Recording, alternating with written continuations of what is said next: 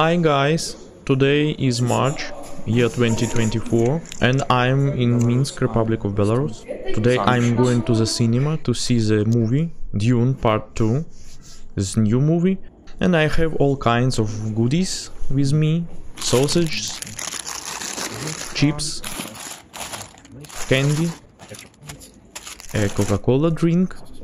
Here you can buy popcorn, ice cream and more. So this is the second year hmm. as Belarus is under brutal western sanctions. so let's go to the cinema hall. You can see the hall is quite comfortable. Well, let's start watching.